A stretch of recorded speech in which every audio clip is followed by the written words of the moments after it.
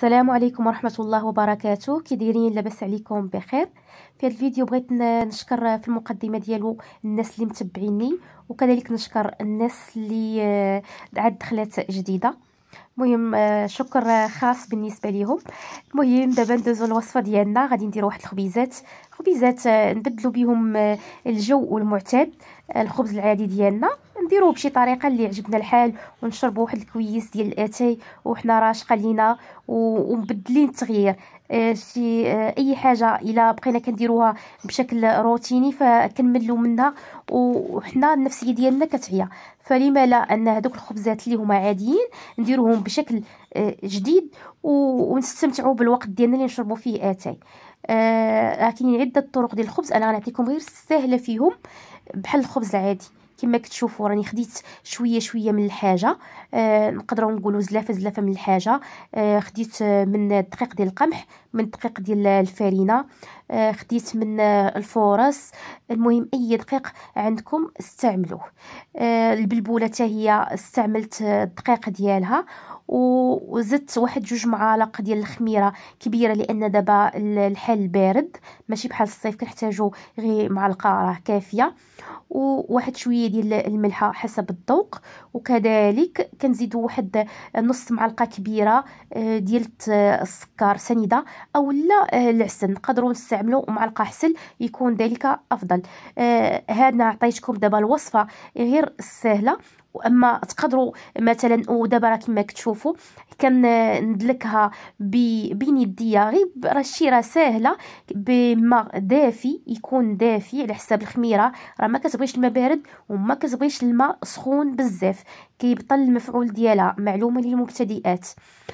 مهم كما كتشوفوا راه تقدري ديري الماء آه، دافي أو لا تخدميها بالحليب دافي وتزيدي معاها بيضة. أنا عطيتكم الوصفة آه، غير سهلة. المهم أنا كنقول لكم دابا تقدروا أشنو تضيفوا. تقدروا تضيفوا الزرارع وديروا آه، بيضة وديروا كذلك الحليب دافي. كما كتشوفوا أنا ملي ساليتها وجمعت هاد الكتاب بين يديا بحال هكايا راه زدت فيها واحد شوية ديال آه، زيت العود باش ما تبقاش تلصق آه، كما الأول. المهم هنا راه خليتها ارتاحت. دخلت أنا لواحد الفران ديالي كان ديجا مطيبة فيه كيكه باقي سخون.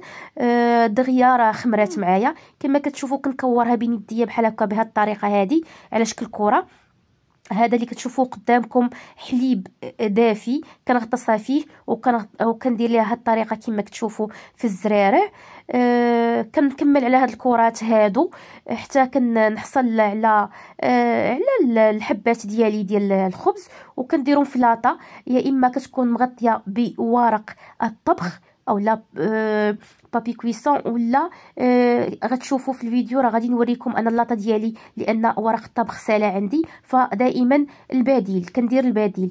آه غطيتها بالدقيق ولكن تغطيوها مزيان باش ما تلصقش معكم في اللاطة.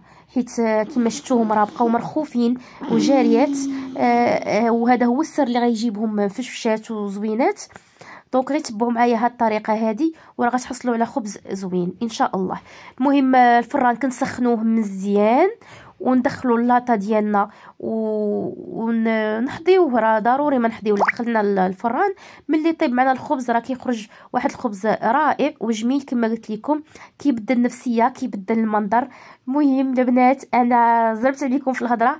كنتمنى آه، الخبيزات ديالي والوصفة تعجبكم وإن شاء الله نتلاقاو في فيديو آخر ووصفة أخرى أو لا روتين أو لا كما آه، عولتكم دائما الجديد في قناتي.